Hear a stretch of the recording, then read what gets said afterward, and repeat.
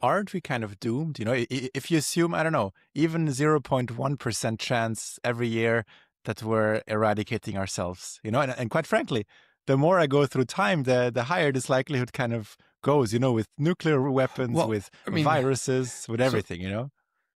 You have to look at the past and try to project from the past to the future, but there are several different ways to frame that. So, one way to mm-hmm. frame it is say, look, life on Earth has lasted for four and a half billion years, or at least four billion years. So, the chance that it will suddenly end in the next thousand years got to be pretty small if it's lasted for four billion years. Mm. That is. Now, you could say, well, maybe we were just lucky to last this long. And maybe the chance of making it this far was actually much smaller, but still, that 4 billion years compared to a thousand years is, again, you know, that's a factor of what, 4 million, which means it's, if we were just a random time in the history of civilization of Earth life, it would be very unlikely for life to end very soon. Another way of thinking about this is in terms of growth of, say, you know, brains and then humans and civilization. And then you might think the chance of various things going wrong would happen at each doubling over mm-hmm. time. And since we've been doubling much faster lately, you might say, well, the doublings we have yet to go through in the near future, those are doublings that could well have disasters waiting for us.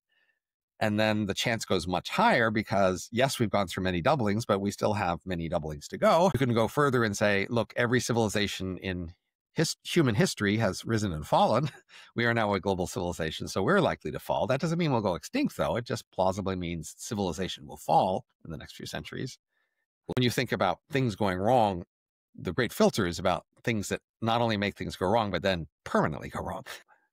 I guess what I was trying to say, you know, it's much easier to survive as a spe or, or not kill each other as a species if we're not so interconnected, right? If there's, I don't know, there's one tribe in, in, in Rome, there's another tribe in China. Right. Well, that, and, and now the, we're so connected, right. right. So in the past, each civilization rose and fell, but there were no globally spanning civilizations. So uh-huh. the globe rose relatively steadily, even though civilizations rose and fell.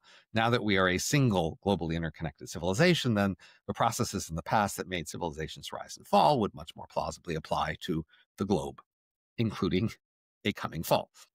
So, in a way, are you optimistic or pessimistic? Well, there are different questions, and I can be optimistic on some and pessimistic on the others, really. So, you know, I think pessimistic, yes, our civilization is probably going to fall. Mm-hmm. But that's not extinction optimism. Okay. Then in the longer run, rising and falling, I see a chance for maybe several rise and falls of civilization to continue and to rise overall, which is what we've seen in the past.